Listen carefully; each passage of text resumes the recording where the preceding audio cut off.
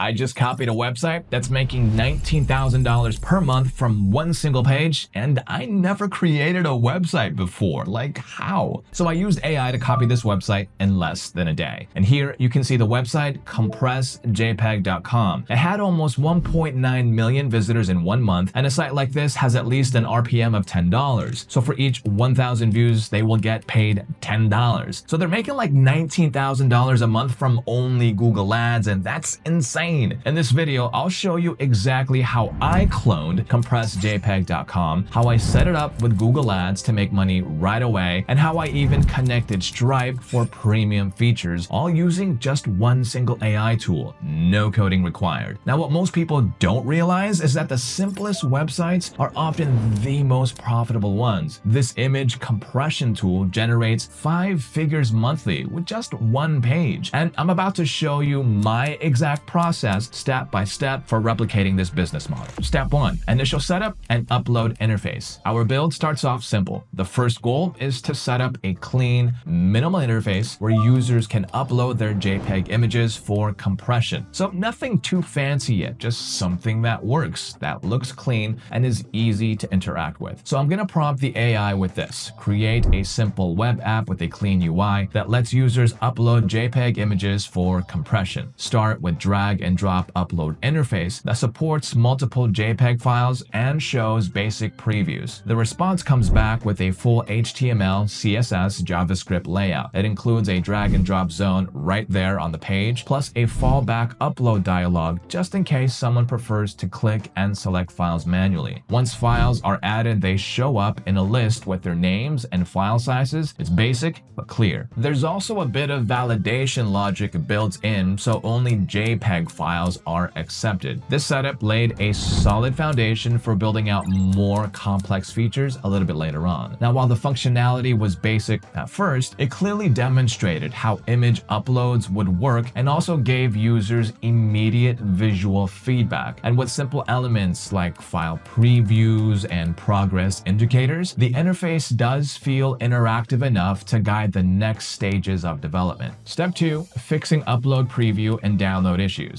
With our basic upload interface working, it's time to test how it actually performs in real life. And right away, as you can see, we have two major issues showing up. First, image previews aren't showing up at all. Second, even after compression, there's no way to download the images. Now, these are core features, so we need to have them fixed before moving forward. And all I have to do is prompt the AI with a quick summary of the issue, like I'm unable to see the previews and also unable to download images. And from there, the AI updates both the front end and the back end logic. So the first fix is for the previews. Image thumbnails now show up instantly after file selection, thanks to the File Reader API. It gives our users a clear view of what they uploaded, which immediately makes the interface feel more responsive. Next, the download problem, and the fix adds download buttons that appear after compression finishes. And the download links are now tied to the correct image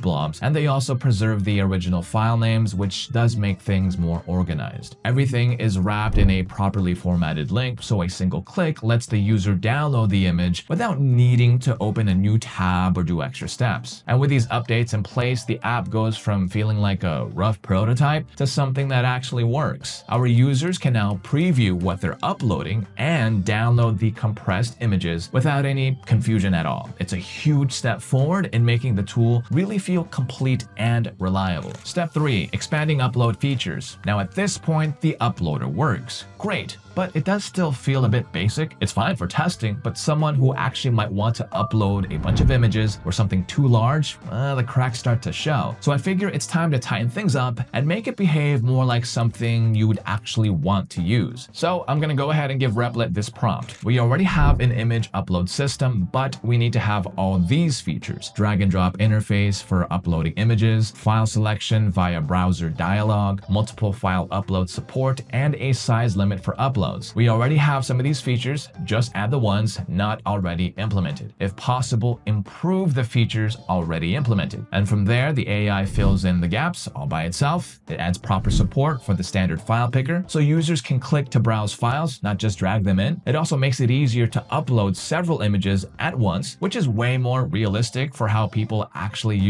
this kind of tool, at least for me. And to keep things from breaking, we've now also implemented a file size limit, 10 megabytes max per image. If someone tries to upload something too big or the wrong format, the app catches it and throws a quick visual warning. No silent failures and no guessing what went wrong. Now this update took the uploader beyond a basic demo and turned it into something much more reliable. Our users can now upload large batches of JPEG smoothly with helpful feedback if anything didn't go through. It also worked consistently across different browsers and handled slower networks without issues, making it feel ready for real-world use. Step 4. Implementing image compression technology. Alright, so far our users can upload and preview images, but none of that means much without compression actually working, right? So this is the core part of the app. It's the feature that saves space, loads pages faster, and makes the whole thing useful beyond just viewing files. So to get started, I'm going to send Replit this prompt. Next, we need to focus on the image compression technology. We need to have JPEG compression algorithm implementation, adjustable compression quality settings, and optimization for web usage. We already have some of these features, just add the ones not already implemented. If possible, improve the features already implemented. Now what comes back to me is a solid upgrade because Replit adds JPEG compression using either the HTML5 canvas or a lightweight library like Compressor.js, whichever method works best in browser. A new slider shows up that lets users choose how much compression they want, anywhere from 10% to 100%. It gives just the right amount of control without overwhelming people. And to make things easier for everyday use, a couple of preset buttons are added too, like web optimized and best quality. So one click and you're done. You don't even have to think about percentages if you don't really want to. Compression also happens instantly now. There's no need to re-upload files every time you change the settings. And to make things feel more complete, there's also a quick size comparison that shows our users how much space was actually saved. I know it's a small detail, but it is really satisfying. Step 5. Batch processing and queue management. So at this point, the app can compress multiple images at once, but when I throw a larger batch at it, it starts to freeze. So the first few images might go through, but then the process stalls completely. So it's clear that something behind the scenes is choking on the load. So I'm going to give and send this prompt over to Replit. Good job. Next, we need to focus on batch processing. The app already has the ability to compress multiple images simultaneously, but it should also have a proper queue management for large batches. After testing the first attempt, let's go ahead and follow it up with this. It is bugged and it is stuck on the first image uploaded. And from there, Replit pivots and introduces a proper queue system to handle the load. So instead of like trying to compress everything at one time, images are now processed one by one asynchronously. This prevents memory overload and also keeps the browser from crashing, especially useful for people working with big sets of images. There's also a progress indicator added that tracks where you are in the batch, so like 3 of 10 images compressed. It helps manage expectations and makes the app feel more responsive. And if an image fails to compress, the system doesn't just stop, it lets users retry the failed file without breaking the entire queue. And that kind of small fix goes a long way in making the whole experience feel smoother. Thanks to the new system, our users can now compress dozens of images in one session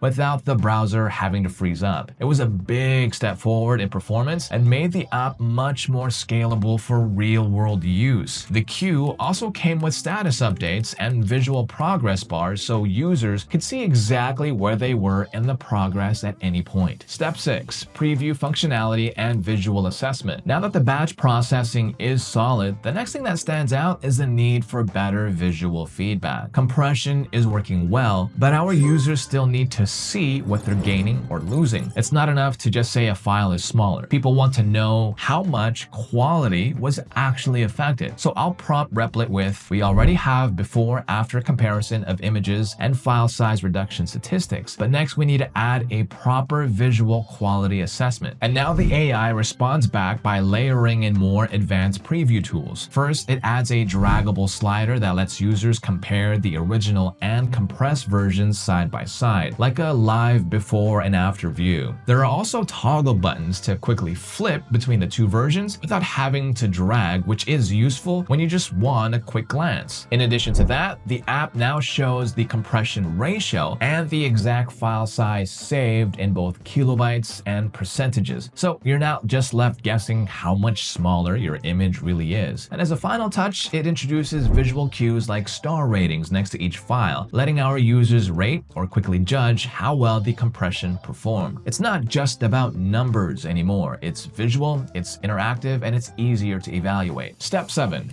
User authentication plus landing page and UX enhancements. With all the core features working, it's finally time to focus on the first thing our users see, the landing page. Because up until now, the app works well, but the interface still feels a little bit too utilitarian. It needs structure, flow, and most importantly, a proper sign-up system. So I'm gonna prompt Replit with next, add user authentication. Make sure to also add a landing page with a simple, clean interface, intuitive user experience, minimal design, and clear instructions and feedback. Then I'm gonna follow it up with, I wanna be able to register and log in properly, no need for a demo user. The result starts to bring everything together. A proper hero section is added to the top with the app title, a short description, and a clear call to action that invites users to upload their images. The layout is centered and uncluttered with clean typography and a strong visual hierarchy so users know exactly where to go and what to do. Below that is a feature section that lays out what the app actually does, everything that makes it useful in plain language. There's also a FAQs section which helps cut down on confusion and answers common questions before users even have to ask. Now on the UX side, subtle animations and transitions are added as you can see, just enough to make the site feel smooth without slowing it down. And of course, the big one, user authentication. Users can now sign up or log in securely with their email and password with real-time checks for common issues like weak passwords or duplicate emails. Sessions are handled through cookies or local storage, and there's a simple profile dashboard with a log out option, of course. Now this setup lets users return to the app with their settings intact and access premium features tied to their account. It also sets the stage for future upgrades like usage tracking, history, and cloud-based storage. Story 8. Google AdSense monetization. Alright, so the core features are built and our user accounts are now in place. The next step is to make the app financially sustainable, especially for free tier users. And that's where monetization comes in. So I'm gonna prompt Replit with, next we need to connect to Google AdSense and have Google Ads. And from there, ad placements are added carefully. We make sure not to overwhelm the interface by keeping ads in the sidebar and the footer away from the main workspace. The Ads by Google script is embedded along with the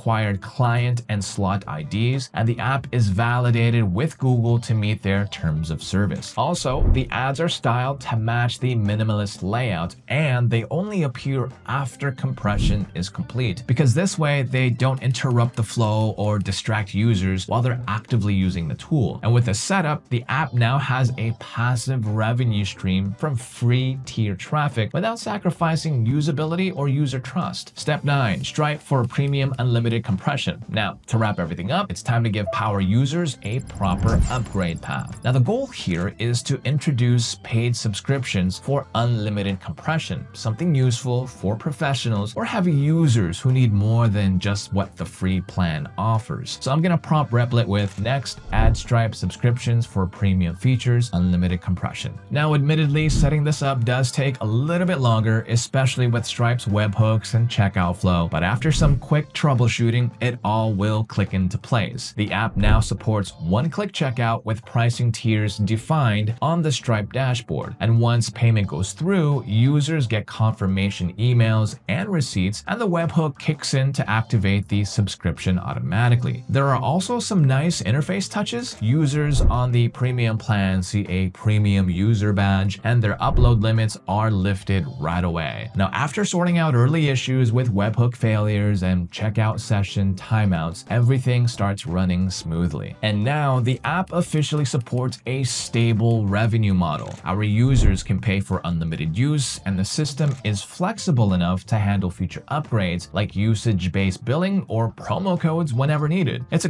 clean finish and a solid foundation for growth. Alright, so what started as a lightweight image uploader has evolved into a complete production-ready tool. It handles everything from intuitive uploads and smart compression to user accounts and monetization, all built entirely through step-by-step AI prompting. The final version includes drag and drop uploads with JPEG validation, adjustable compression with quality presets, batch processing with proper queue handling, visual before and after previews, and easy downloads. It also supports user login, Google AdSense for free tier monetization, and yes, Stripe powered subscriptions for premium access. Now, if you're working on your own AI assisted project or you're just curious about what is possible, please do make sure to follow along. There's a lot more like this coming along the way. Thank you for watching.